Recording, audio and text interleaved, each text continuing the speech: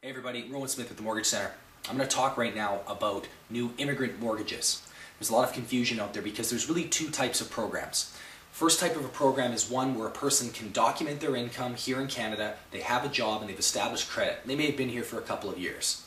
The second type of person is very new to the country who maybe doesn't have uh, permanent long-term employment and doesn't have a credit rating here in Canada. So if you have the credit rating and the job, then you fit the, uh, the requirements of CMHC and the other insurers that let you put as little as 5% down. Has to be from your own sources for the most part, there are exceptions. Uh, it has to be um, money that you've brought with you from your home country and can prove that it is in fact yours.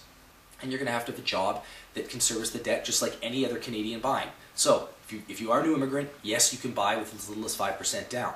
But many times people come from another country, they're not in that situ situation. Maybe they've run a business back home, that's a big source of their income, and it hasn't quite been set up here in Canada just yet. If that's the type of situation we're talking about, where they have no established credit, the banks are generally going to want to see between 35 and 25% down payment. So if place is a million bucks, you're going to have to put 250 to 350 thousand dollars down payment on the property in order to get a mortgage on it. Well, it may seem like a lot, but it's because the bank cannot rely on any sort of uh, credit repayment history or whatnot that you have. Um, some of them will ask for a banker's reference letter from back home.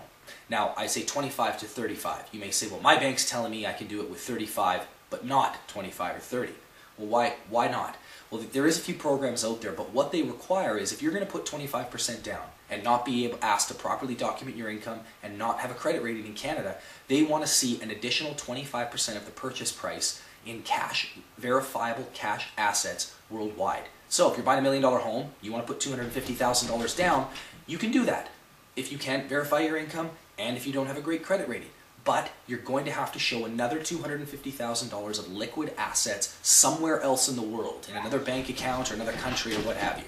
So if you know anybody in these situations, new immigrants that don't have credit, don't have great employment yet, or new immigrants that have been here for a couple years and do have jobs, either way we can help them. From the Mortgage Centre, I'm Rowan Smith.